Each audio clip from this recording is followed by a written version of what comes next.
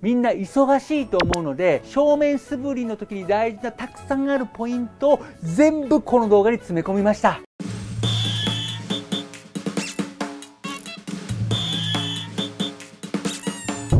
百秋武道具店の動画。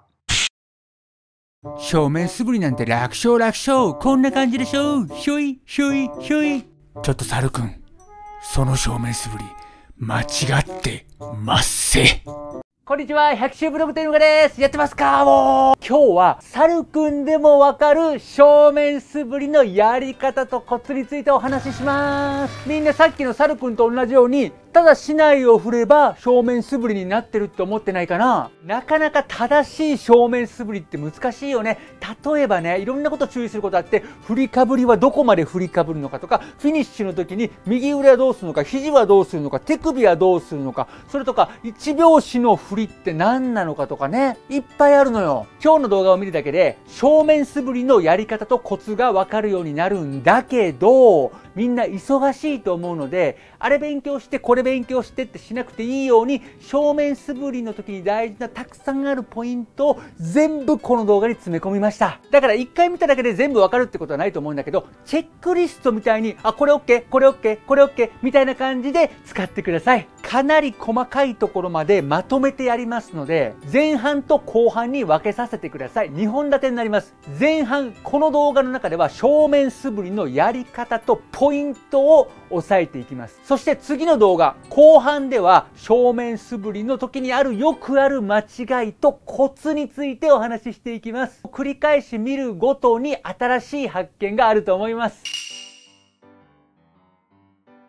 最初のポイントは最高のロケットを飛ばしたかったら最高の発射台が必要っていう話をします。みんなどうしてもねこの市内を振ることばっかりに意識がいっちゃうんだけど大事なのは実は発射台なんです。発射台がしっかりしてないとロケットも変な方向飛んでいくよね。つまり素振りもおかしくなっちゃうってことなんです。僕はこの発射台っっていう言い方がすごく気に入っててもうこれ以上分かりやすい説明はないと思うんだけどこれは千葉県の上野台県友会統括顧問鈴木剛先生がどっかの YouTube の中で言ってたのを耳にしました。それで借りてます。この本の中には書いてなかったです。すごく大好きな説明の仕方です。まずは最高の発射台を見直しましょう。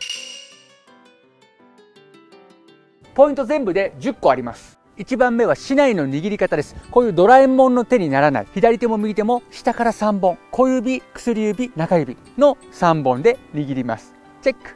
2番目は目線です。同じ背の高さの人がいると思ってまっすぐ前を見ます。顎引きます。チェック。3番目は構えた時の左手の位置です。左手の位置は左手の親指の付け根がおへその握り拳1個分前になります。チェック。4番目は構えた時の剣先です。相手の喉元もしくは左目につけます。上がりすぎてないですか？チェック。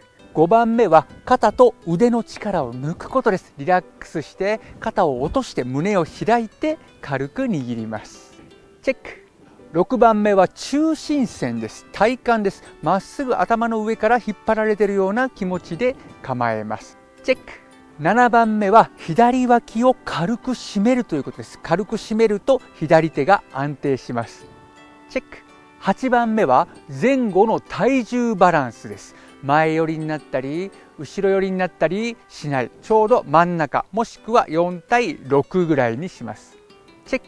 9番目は足の準備です。左かかと上がってますか？足幅肩幅と同じぐらいです。右足のかかとに左足のつま先が来てます。チェック。10番目は足さばきです。前に出る時には左足の親指の付け根で床を押すようにして体ごと前に出します。後ろ下がる時には左足のかかとが床につかないように気をつけます。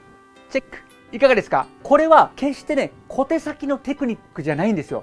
剣道の基本中の基本、もう本質の部分なんです。だから、最高の発射台ができれば、最高の正面素振りだけじゃなくて、最高の飛び込み面、最高の出花ごて、最高の返し道、これ全部できるようになります。いやいや、そんな全部いっぺんにできるわけないよって思うでしょ？できるわけがないんです。だから今日の動画は1回見て終わりじゃなくて何度も繰り返し見てください。でもね、直すポイントがそもそもわからないと治らないでしょ？だからあえてもう短くして今日の動画に全部詰め込みました。繰り返し何度も見直して最高の発射台まずは作りましょう。次は振りかぶりのポイントを説明します。これもたくさんあるんだけど全部詰め込みました。1番目は振りかぶった時に握りを変えないってことです。まっすぐ構えてる時はいいんだけど振りかぶった時にここが緩んじゃう人がいます。チェック。2番目は竹刀が重たいからといって右手で引っ張り上げるようなことはしないということです。竹刀の上下は左手で行います。チェック。3番目は振りかぶった時にも体の真ん中を通ってますかってことです。お尻までつける人はお尻の割れ目に竹刀が来るようにしないといけませんチェック。4番目は肩を使って大きく振りかぶるイメージです。やり方は手首の角度肘の角度を変えないでそのまま振り上げると肩が大きく使えます。チェック。5番目は振りかぶりの角度ですけども45度までっていう先生もいればお尻につけるまでっていう先生もいます。大きく振るのが大切です。チェック。6番目は振りかぶった時に左手が前に出てないかってことです。チェック。7番目は振りかぶった時の左拳の位置です。おでこの前、握り拳1個分のところに来ます。チェック。8番目は振りかぶった時に脇を広げすぎないってことです。脇を広げすぎると手が緩んでしまいます。チェック。9番目は振りかぶる時に右足を一緒に出します。手と足うまく合うかな？チェック。いかがでした？これを何度も動画を見てチェックしていってください。そして最後が振り下ろし、フィニッシュのポイントになります。振り下ろす時の1番目は、フィニッシュの右手の高さです。右手の高さは肩の高さ。低くなってはいけません。チェック。2番目は今度は振り下ろした時の左手の高さ。左手の高さは溝落ち、肋骨と肋骨の間の柔らかいところになります。低すぎてもいけません。チェック。3番目は振り下ろしの最後。スナップを効かせて先を鋭く走らせます。チェック。4番目は最後。腕の上側の筋肉を伸ばす。下側を縮める。チェック。5番目は最後手の内の練習をしたい人はいつもの止まる場所より最後一瞬1 0センチ。下まで下げるイメージです。チェック。6番目は1拍子の素振りを意識します。1拍子の素振りとは上げたら下げる。上げたら下げる上で止まってないですか？チェック。7番目は相手がいると思って相手の顎まで切る。ということです。チェック。最後8番目は振り下ろしと同時に左足を鋭く引きつけるです。チェック。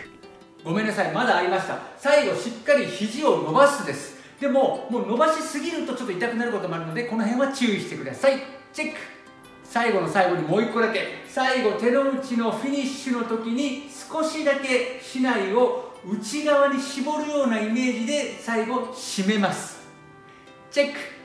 以上がサルくんでもわかる正面素振りのやり方とコツのビデオの前半になります。もしよければ2本目もご覧ください。僕のチャンネルではこのように小さい階段を少しずつステップアップしていけるような動画を配信しています。今日もご覧いただいてありがとうございました。またいつかお会いできる日よ